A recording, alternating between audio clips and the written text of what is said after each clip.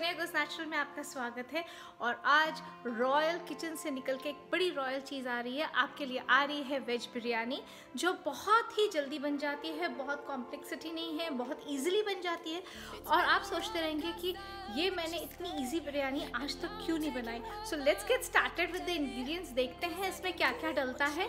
और इसका preparation time तो है अबाउट हाफ़ एन आवर लेकिन ये एक्चुअल बन जाती है 15-20 मिनट में so total time is like under one hour so let's get started with ingredients friends यदि इंग्रेडिएंट्स की बात करें तो खड़े मसाले से शुरू करते हैं। खड़े मसाले में मैंने एक तेज पत्ता है, जैवित्री के फूल हैं और एक सिनेमन स्टिक ली है। थोड़ी सी लौंग है और लाल मिर्च है। ये अदरक लहसुन का पेस्ट है। ये अदरक विथ हरी मिर्च है और लहसुन है। ये मसालों की बात की जाए तो ये मैंने बिरयानी मसाला लिया हुआ है। इसमें वो लोग खड़े मसाले रेडीमेड जो लेती हूँ मैं, ये पाकिस्तान का शान मसाला, इसमें खड़े मसाले होते हैं। इसमें थोड़ा सा ये ज़ीरा है, ये लाल मिर्च है और ये नमक है।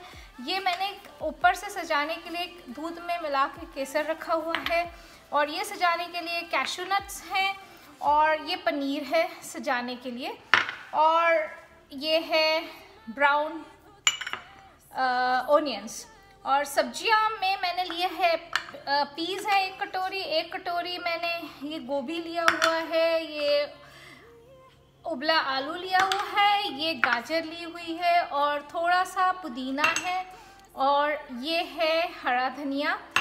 अब मैंने एक बड़ा प्याज काट दिया है और एक ये टमाटर है। सो so, ये हो गए इंग्रेडिएंट्स ये थोड़ा सा फ़ूड कलर डाल के मैंने खड़े खड़े खिले खिले चावल रखे हैं। एक कट रखी है बिकॉज़ हमको बिरयानी के लिए उस हिसाब से चाहिए होते हैं। पूरे कुकड चावल नहीं होते हैं। So this is about you can say one and half कटोरी of rice so let's get started देखते हैं कैसे बनती है ये वेज बिरयानी। फ्रेंड्स ये तेल गर्म हो गया है और अब मैं इसमें खड़े मसाले डाल रही हूँ। जिसमें सबसे पहले मैं ये तेज पत्ता डाल दिया है, दो लाल मिर्च डाल दी है सिनेमन स्टिक डाल दी है जावित्री के फूल डाल दिए हैं और ये डाल दी है दो चार लौंग। सो so, जैसे कि बिरयानी जो है रॉयल है तो उसमें रॉयल चीज़ें डल रही है। थोड़ा सा मैंने लहसुन का पेस्ट डाल दिया है इसमें और थोड़ा सा अदरक और अब ये जो है ये कुक हो चुका है इसमें डाल रहे हैं प्याज।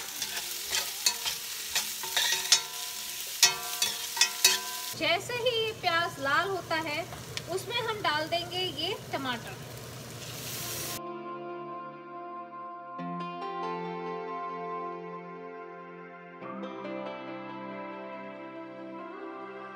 ओके तो ये प्याज टमाटर जो है, वो अच्छी तरह से लाल हो चुका है और अब इसमें जा रहे हैं एक एक करके सब्ज़ियाँ, गोभी, गाजर।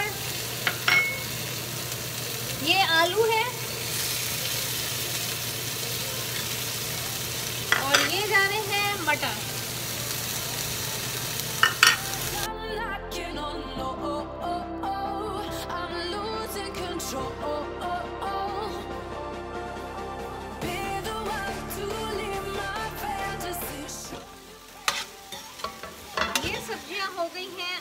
अच्छी तरह से सोटे। और अब एक एक करके इसमें जाएगा नमक। थोड़ा सा नमक। लाल मिर्च और ये जो मसाला है, बिरयानी मसाला, ये जाएगा।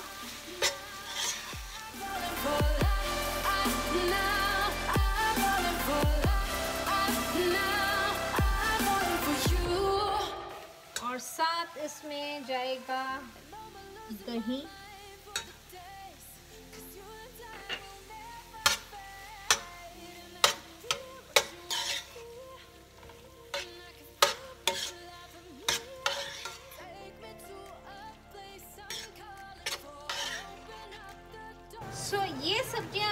चुकी हैं और इसमें थोड़ा सा हरा धनिया हम और डाल देंगे और थोड़ा सा पुदीना हम डाल रहे हैं इसमें। और इसके बाद ये थोड़ा सा मसाला जो है ये मैं निकाल लूँगी प्लेट में अलग से। और लेयरिंग करेंगे अब इसकी। सो so, अब ये एक लेयर जाएगा।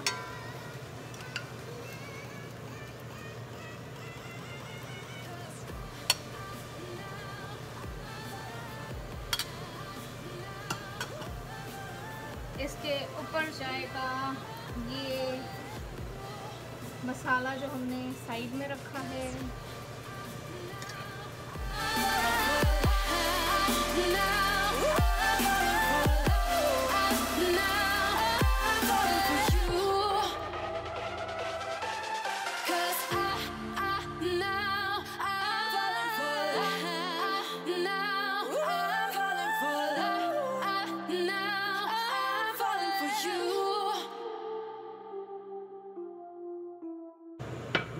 कितना वंडरफुल लग रहा है और ऊपर से हरा धनिया।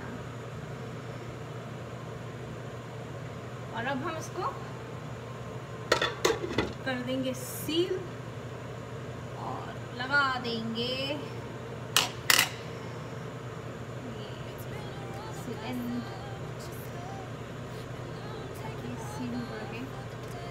ये बिरयानी रेडी है शेल आउट के लिए। और अब हम इसको ये बाउल में शेल आउट कर देंगे। ये पेश है फ्रेंड्स बढ़िया यमी बिरयानी कौन कहता है कि चिकन या मटन वाली बिरयानी ही बढ़िया होती है? वेज बिरयानी भी उतनी ही मज़ेदार होती है। आप इसे प्लीज़ ट्राई कीजिए और मुझे फीडबैक दीजिए कि आपको ये आपकी बिरयानी कैसे बनी, आपको कैसे लगी। Till we meet next time please like share and subscribe to my channel Sonia goes natural bye bye